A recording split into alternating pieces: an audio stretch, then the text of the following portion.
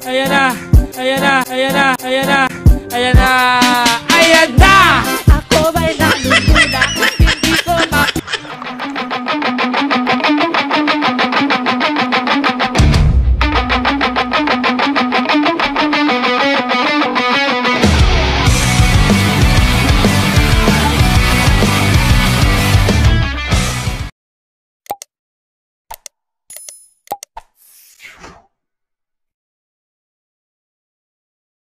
Yes, mga guys, good morning.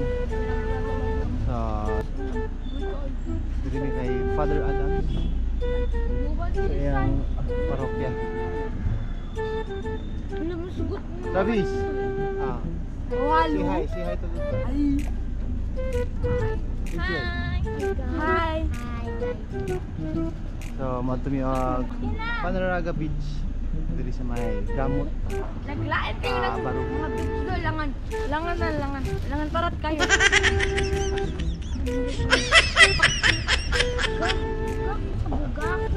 Bugak. Bugak. So, update daw niya.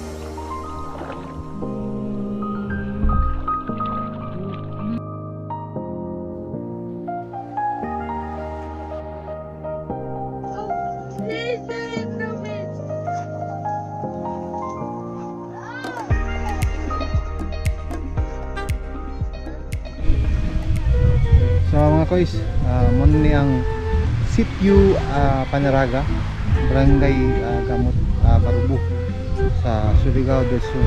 So pag anhi diri ah, pag travel medyo from the highway mga 15 to 18 kilometers from the highway lang.